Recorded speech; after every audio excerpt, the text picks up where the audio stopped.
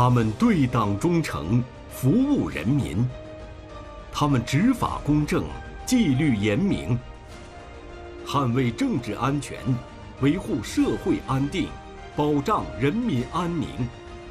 浩荡铁军，他们英勇奋斗；矢志献身，他们英雄辈出。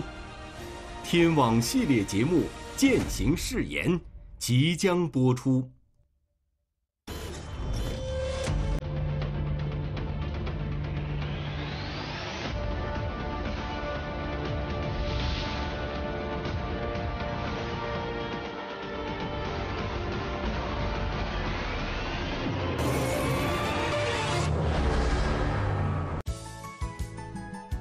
他是北京牛街的片警，扎根基层十四年，始终心系群众，情满社区，被称为百姓的亲闺女。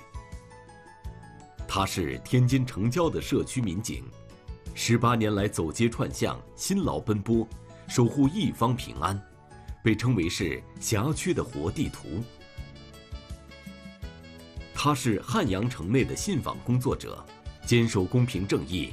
以微笑化解矛盾，以真情融化恩怨，被誉为“金牌调解哥”。他们对于百姓的深情厚谊，他们对于工作的满腔热情，他们在平凡岗位上的默默坚守，是新时代公安民警不忘初心的生动诠释和真实写照。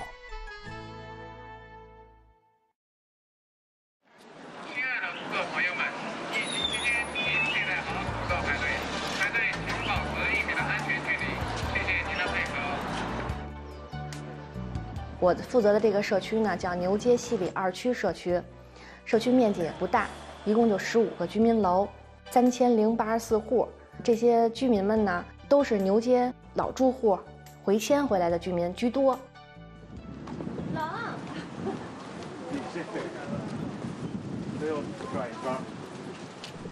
沈琦，北京市公安局西城分局牛街派出所副所长，社区警务队队长。深入社区，了解民情民意，是他工作的常态。一起遛会儿弯哈，啊，有点凉了，对，天天太凉了，转一圈转一圈，没什么人，对，今儿得变天了。王磊，王磊，您认识吗？您坐，您坐，您坐，您坐，您坐。你他上我那儿去过，对对对，上您那儿去过。徒弟，对，我是不是？是。你挺好的，挺好的，挺好的。累就是，是吧？就是累，就是咱们小区的闺女。啊，这小区的闺女，谁都是，闺女来了，她一直就在这儿，她跟我们亲，没有跟她亲，她跟我们办事，给那钥匙都递给她，家的钥匙递给她。社区的长辈们叫我闺女，这个称呼是我最喜欢的，因为他们没拿我当外人，把我当自家人，就说明我还能起到一个闺女该起到的作用。跟大家汇报一下近期的这个发案情况。嗯，咱们也沟通一下，看看咱们楼里边有什么突出的问题没有。这个，但是有点能够得到社区群众的认可和信任，是沈琦多年来扎实工作的结果。后来我说行。二零零七年一月，走出大学校门不久的沈琦，进入牛街派出所，一直工作至今。我说得，昨晚上肯定值班来着。我从小啊，这个人民警察这个职业，就在我这心里啊，种下了一颗种子。因为我的父亲就是一名老公安，他呢是北京市公安局原宣武分局刑侦支队的一名侦查员。从小呢就觉得父亲是警察，抓坏人，非常的英勇这种形象，所以毕业以后就子承父业，也是当了一名人民警察。进入牛街派出所不到一年，沈琦就主动争取当上了一名社区民警。因为本身小的时候就在牛街长起来的，对牛街呢有感情，而且我小的时候啊，我们牛街派出所的片警走街串户那个样子，我们那波小孩都记在心里头，都知道有什么困难，他们都帮助我们。二零零七年十一月十一日是沈琦成为牛街西里二区社区民警的第一天，他刚巧遇到了一个棘手的问题。是那年正好接片的时候呢，赶上该供暖了。嗯，十一月十一号，嗯，当时呢，这个楼里面呢，可能有人贴了一个提示，说因为有一些纠纷也好啊，因为一些这个问题，说供暖要推迟。了解过具体情况后，沈琦就立即开始着手解决问题。就是通过跟领导汇报，呃，写情况上报给分局，分局同时呢又报给这个区里面，啊，区领导也特别特别重视，重视完以后就当天就开这个协调会，就是了解这个情况，啊，到底是怎么解决，帮老百姓解决问题。让沈琦感到欣慰的是，当天夜里，小区就开始试水供暖了。老百姓特别可爱，他呢就说：“哎。”新来的小片警啊，还行，能给咱们办事儿。以后有事儿咱就找他。从这以后，沈琦就成了社区居民们信赖的自家人。无论大事小情，只要遇到解决不了的困难和问题，他们都习惯了先来找沈琦。沈琦也总是笑脸相迎，千方百计化解矛盾隐患。他把老百姓的事儿当事儿。啊，也有一些呢是不归公安机关管，或者有些都是不归任何机关管的事儿，就家里的琐碎的事儿、家务事儿，沈所长呢都能去管、去听，他对老百姓有反馈。啊，这个事儿办到什么程度了？怎么办？有一个卡丢了，丢了找不着，我们老头儿知道了，他说：“沈杰，你办这件事儿吧，你帮着给找找。”结果就找，就联系啊，联系联系。哎，找着了，他爸也高兴吗？多高兴！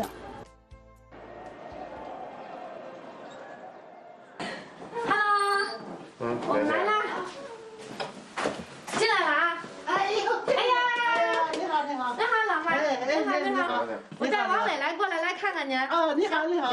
我说带着王磊上来认认门来，过来看看他。不能到时候我要忙过不来呢，让他过来。十四年的时间。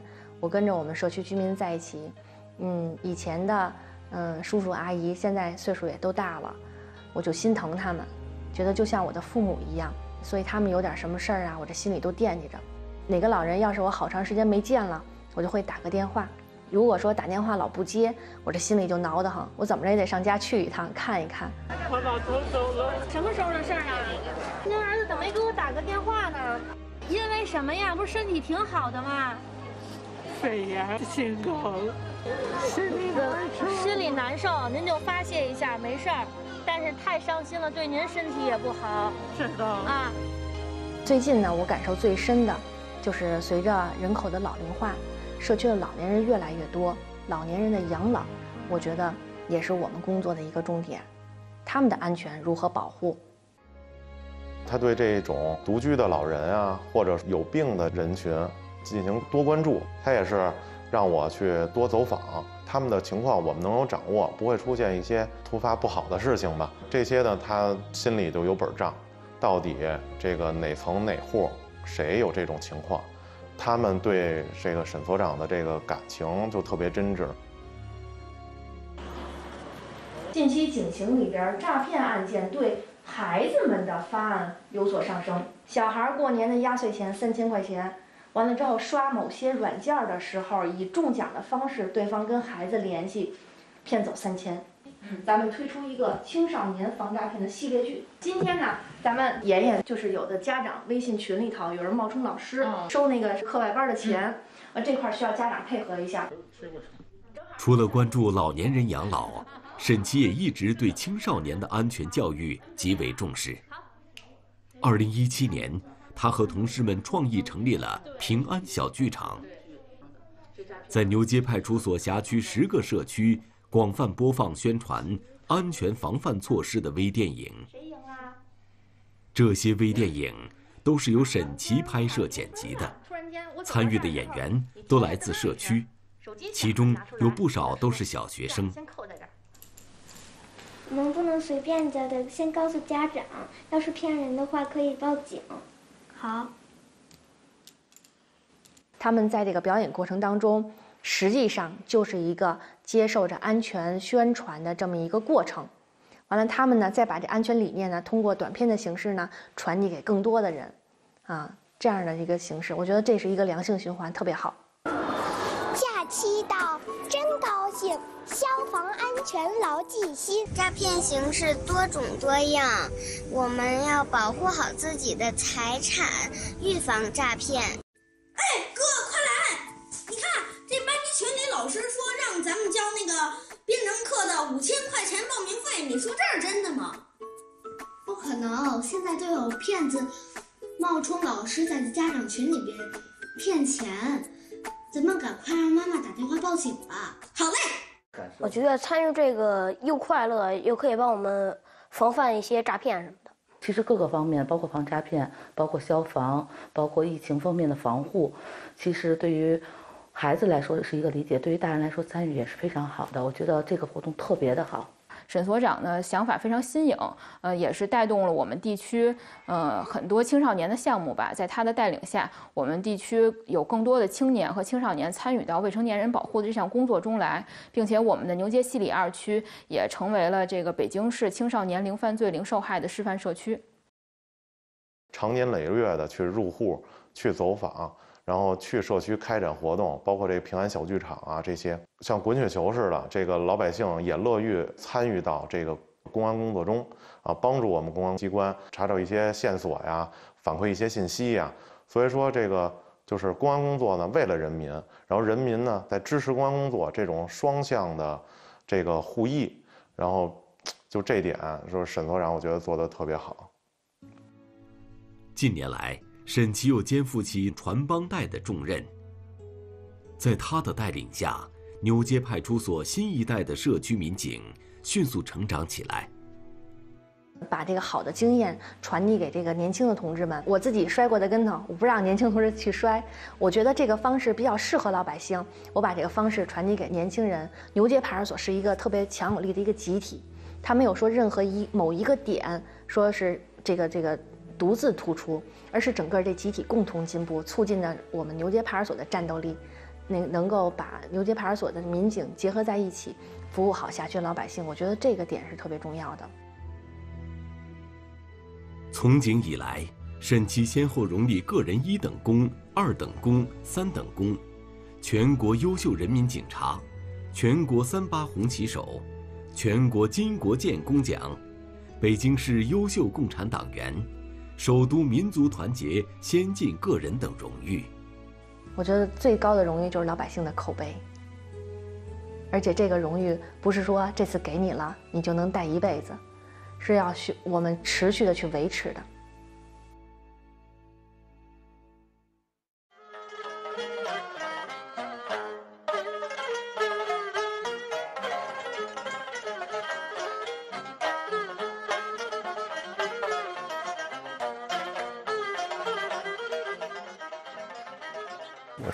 一九九四年参加工作，始终在基层派出所担任社区民警。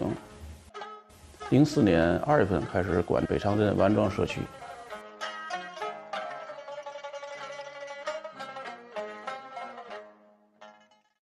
他的那个两岸户口本、结婚证、出生证、两岸身份证，多少出生？嗯，温建富。是天津市公安局北辰分局北仓派出所的一名社区民警，是吗？他的工作辖区是天津市北辰区北仓镇的王秦庄村。这房子现在住几个人？两户呗。两户，干嘛的？他是农活，他就闹红果。王秦庄村毗邻天津外环线，地处城郊结合部，现有常住人口五千余人。外来人口三千五百余人。当年的王秦庄村治安形势较为复杂，案件高发，是北仓派出所辖区内管理的老大难社区。接手这里的工作后，温建富做的第一件事就是挨家挨户走访，采集信息，熟悉社区，接收信息采集，登记流动人口，登记出租房屋。这都是我那个了解民意、群众民意的一个方法吧。当时的王秦庄村有两千多户人家，要对每家每户都进行信息采集，可不是个小事，其中的困难更是难以预料。因为村子里胡同多，开车不方便，他只能靠步行或是骑自行车。村上的临街建筑较多，还有不少都没有门牌号，他需要进行一一编号。好多居民白天上班或是周六日才在家，他只能是不分白天黑夜、没有公休日的来工作。坚持了一年半的时间，温建富终于完成了对社区每家每户的首次信息采集，不仅掌握了社区的基本情况，也渐渐赢得了居民们的信任和支持。因为天天下去，他天天能见到我，说有一天能看见我三趟四趟，第一时间能够找到我，有什么困难啊，有什么那个求助啊，有什么纠纷啊，能第一时间为他们解决。解决问题啊，解决纠纷多了，你在老百姓心目中地位提高，老百姓他就认可肯定你了，所以他有嘛事他都找你了。在我心目当中啊，老百姓事无小事把老百姓事当成自己的事儿解决，当成自己的事儿办，嘛问题都能够解决。在随后的日子里，温建富一直坚持对社区进行定时定点的巡查。他的身影依然每天都出现在这里，交通工具也变成了电动车。居民们都称温建富为小温，遇到孩子上学、户口迁移、老人走失等大事小情，都会第一时间求助他们熟悉的小温。温建富也乐意为此忙前跑后。由于对辖区内的基本情况了如指掌，温建富被称为是这里的活地图。一次，一对来自外省的打工夫妇向温建富求助，他们十五岁的女儿离家出走了，找了好几个地方都没找到。温建富了解到女孩喜欢上网，便带着夫妻俩挨家挨户到附近的网吧寻找，很快就找到了女孩。得知女孩出走是因为学习成绩下滑，遭到了爸爸的训斥。温建富又嘱咐两口子，教育孩子要注意方式方法，有时间一定要多陪陪孩子。温建富对于辖区情况的熟悉，同样帮助同事们破获不少案件。一个聚众斗殴案件，那当时那个被害人知道。其中一个嫌疑人住王庄村，知道外号。因为那正好那个我管这村时间也长了，人都熟，这人的外号叫嘛？这人交往情况跟谁交往啊？都比较熟。正好那个所长问我时候，正好哟，我知道谁谁谁。完之后我一跟他说，他等于平时就跟那三个人交往比较密切。你当时的军州就四嫌疑人。完给提供上来，经过那个工作，把死人抓获。在另一起刑事案件中，温建富根据受害人对嫌疑人样貌的描述，很快就认定了嫌疑人是谁。不到一天时间，就抓获了嫌疑人。十几年来，温建富协助同事们破获了各类刑事案件四百多起，抓获嫌疑人一百七十多人。在大家的共同努力下，辖区内的治安状况逐年好转，发案率直线下降。温建富在王秦庄村社区民警岗位上工作了十八年，他的电动车已经换了六辆，但他的工作热情始终没变。管的时间也长了，跟老百姓的关系也融洽了，都建立了深厚的感情了。也警民关系特别好，平时那个加班加点的，确实这个也不敢要累。由于表现出色，温建富先后荣立个人一等功一次，个人三等功七次，个人嘉奖七次，三次被天津市委政法委授予政法系统人民满意政法干警，多次被评为天津市优秀人民警察称号。在今后的工作中，一定要发挥先锋模范作用，对党忠诚，服务人民。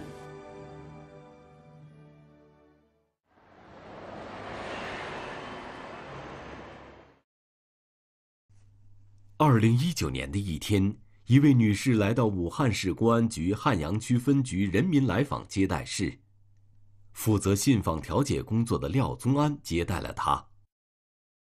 眼神呢都是很恍惚的，面部啊很憔悴的状况。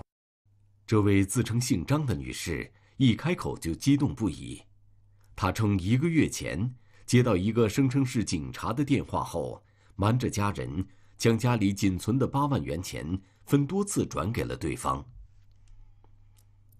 那个身份证掉了，被别个拿了到银行兜里，是去刷了钱，有点害怕，办了办了一个临时的卡都就转给他。对方再一次打来电话要钱，张女士已经身无分文了，便去找女儿帮忙借钱。女儿一听就知道这是一场骗局，立即报了警。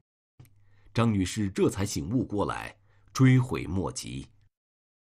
我攒了这一二十年的钱，都是挤牙膏挤出来两个钱。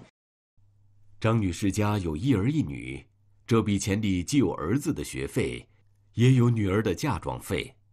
现在儿子上学马上要用到钱。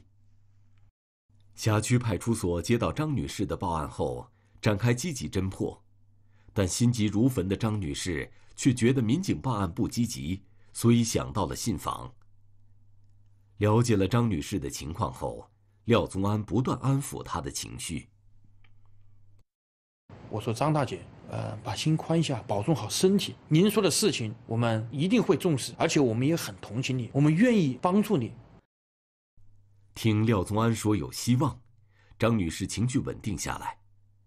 送走了张女士，廖宗安就来到了办案的派出所，了解案件的基本情况。诈骗案件。都存在侦破难度大、追赃困难的问题。侦查员在全力侦破案件，廖宗安考虑的则是如何解决张女士家眼前的困难。打击破案是我们公安机关的天职，但是帮扶救助何尝又不是我们对群众送温暖、送爱心的途径呢？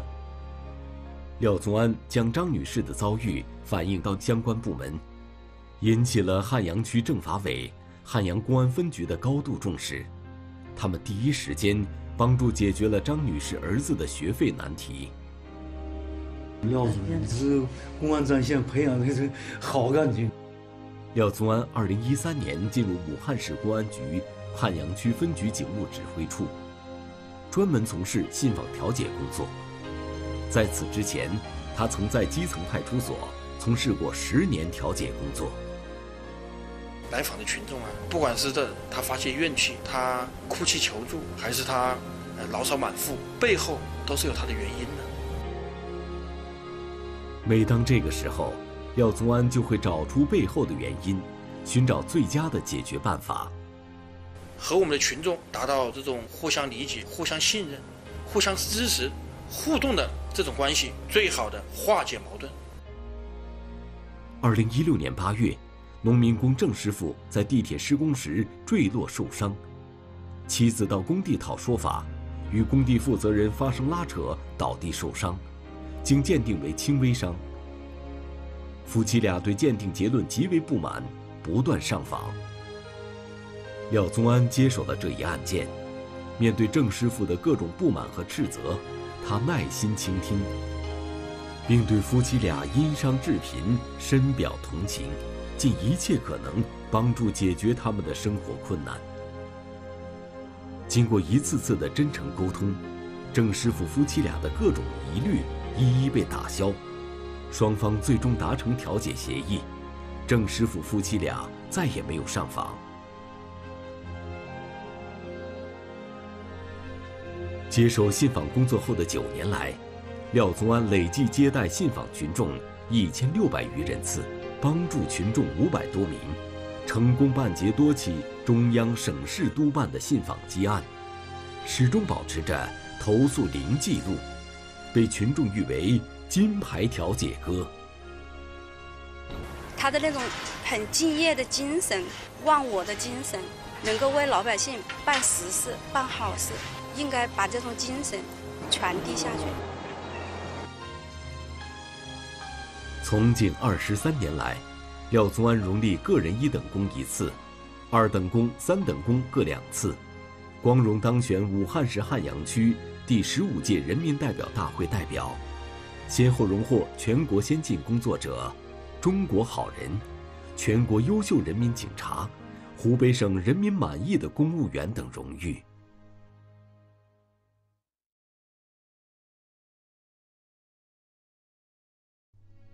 他们一心为民，以真情实干成为百姓的贴心人。他们胸怀大爱，以高度的责任心守护着一方平安。他们坚守公平正义，以柔情化解矛盾纠纷。他们恪守初心使命，践行铮铮誓言。他们是公安民警的楷模。